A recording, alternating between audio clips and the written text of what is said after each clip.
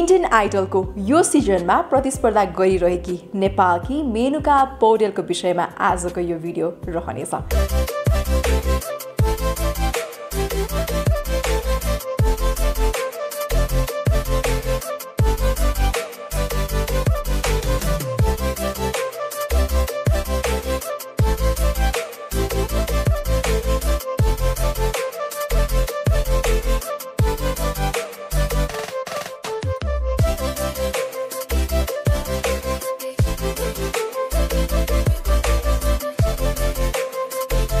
उनको इन्डियन आइडलसम्मको यात्रा कसरी तय भयो उनले कति सङ्घर्ष गरेकी छिन् यसको विषयमा आजको यो भिडियो रहनेछ। यो भिडियोको अन्तिमसम्म हेरेर मलाई साथ दिनुहोला। उनी विक्रमसम्म दुई हजार पचपन्न सालमा जन्मिएकी हुन्। उनको सानैबाट आँखा नदेख्ने समस्या भएको कारणले गर्दा परिवारका सदस्यहरूले उनको आँखाको उपचारको लागि धेरै समय र पैसा पनि खर्च गरे। परिवारले केही लागभाग भएको हो कि भनेर धामी झाँक्री सबैतिर लगे तर उनी निको भएनन् त्यसपछि उनी स्कुलको होस्टेलमा बसेर पढ्न थालिन्। उनी सानैदेखि आत्मविश्वासी स्वभावकी केटी थिइन् उनी हातमा लौरी समातेरै हिँड्ने गर्दथिन्। कसैको सहारा बिना उनी हिँड्ने दौडने गर्ने गर्दछिन्। उनी कसैको सहारा बिना नै हिँड्ने दौडने गर्ने गर्थिन्। कतै पुग्नु छ भने उनलाई कसैले सहायता गर्नै पर्दैनथ्यो। उनी हातमा लौरी बोक्थिन् र जहाँ पुग्नु पर्नेछ उनी त्यहाँसम्म आफै पुग्ने गर्थिन्। अहिले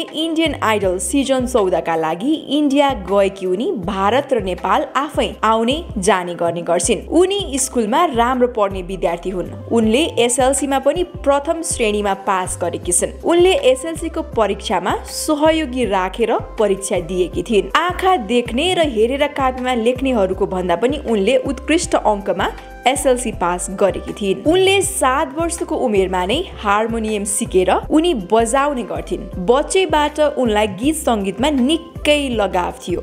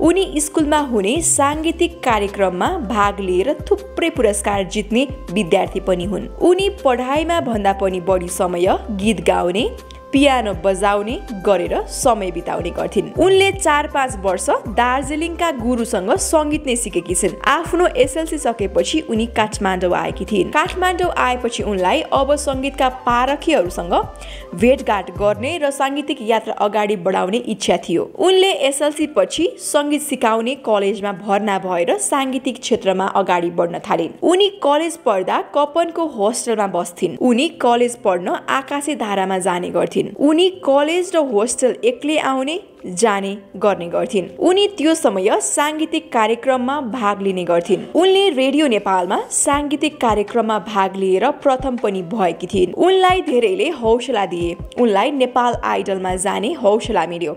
उनी नेपाल आइडलमा जाँदा उनको उमेर अठार वर्षको थियो। उनी नेपाल आइडलमा जाँदा पनि चर्चित बनेकी थिइन्। उनको यात्रा नेपाल आइडलको एघारौँ स्थानमा पुगेर टुङ्गियो। उनलाई भोटिङ राउन्डमा आउट गरियो। त्यसपछि त्यसपछि उनले सारेगमको अडिसनका लागि उनी गइन्। उनले भिडियो अडिसनमा सेलेक्ट भएर अगाडि बढिन्। उनी कलकत्ता पुगिन्। कलकत्ताबाट उनी छानिएर मुम्बई पुगिन्। मुम्बई पुगेपछिको उनको उत्कृष्ट प्रस्तुतिको कारणले गर्दा उनी भाइरल नै भएकी थिइन्। उनले लता मङ्गेशकरको गीत गाउँदा जजहरूले उनको स्वरको तारिफ गर्दै उनी टप फाइभमा पुग्न सक्ने आकलन पनि गरेका थिए। अरूले तारिफ गरे जस्तो र भने जस्तो पनि हुँदै भएन।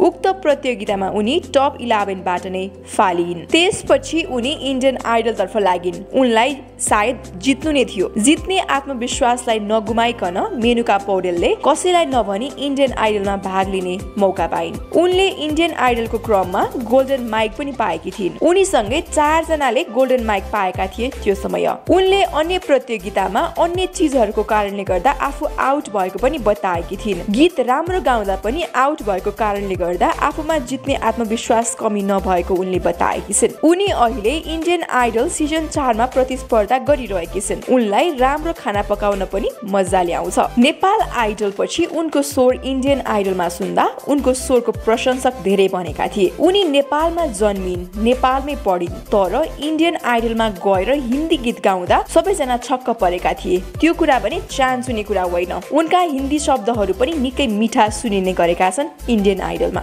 नेपाली भएर पनि मिठो हिन्दी गीत गाउने मेनुकाको इन्डियन आइडलमा जान निकै मेहनत र सङ्घर्ष परेको थियो।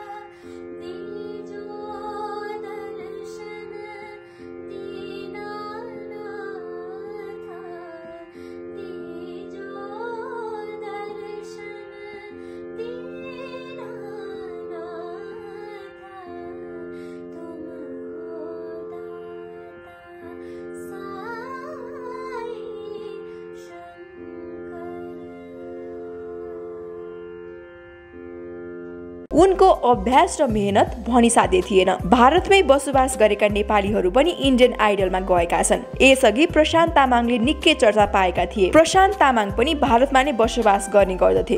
तर मेनुका पौडेल भने नेपालमै बसेर नेपालमै हुर्किएकी युवती हुन्। उनी भारतमा रहँदा साई केन्द्रमा गई भजन गाउने गर्थिन्। सोही भजन गाएको सुनेर एक व्यक्तिले उनलाई इन्डियन आइडलमा पुर्याउन सहायता गरेका थिए। उनले इन्डियन आइडलकै एक एपिसोडमा आफूले सलार चलचित्रको गीतमा आफ्नो स्वर दिने अवसर पाएको पनि जानकारी गराएकी थिइन्। सलार फिल्मको उक्त गीतमा सङ्गीतकार रहेका छन् रवि बसरुर। मेनुका पौडेलले आफूले पहिलो पटक प्लेब्याक गीत गाउन लागेको र आफ्नो तर्फबाट निकै राम्रो मेहनत गर्ने पनि बताएकी थिइन्। मेनुकाले यस चलचित्रको गीतलाई आफ्नो टर्निङ पोइन्टको रूपमा लिएकी छन्। इन्डियन आइडलको उक्त एपिसोड जुनमा उनले यस जानकारी गराएकी थिइन्। जजहरू र अडियन्सहरूले मजाले ताली बजाएका थिए। उनका जजहरू निकै खुसी भएका थिए र उठेर ताली बजाएका थिए। मेनुका पौडेलले पाएको उक्त अवसर सानो भने होइन। केजिएफ निर्माता कम्पनीको उक्त प्रोजेक्ट निकै ठुलो रहेको छ। मेनुका पौडेललाई यसअघि पनि एक फिल्मबाट गीत गाउनको लागि अफर आएको थियो। मेनुका पौडेल जति राम्रो गीत गाउँछिन् त्यति नै राम्रो गीतहरू पनि लेख्ने गर्छिन्। उनको उचाइको विषयमा कुराकानी गर्ने हो भने उनको हाइट चार फिट नौ इन्च मात्र रहेको छ। उनी दृष्टिविहीन युवती हुन् तर उनको गायन शैली निकै उत्कृष्ट रहेको छ।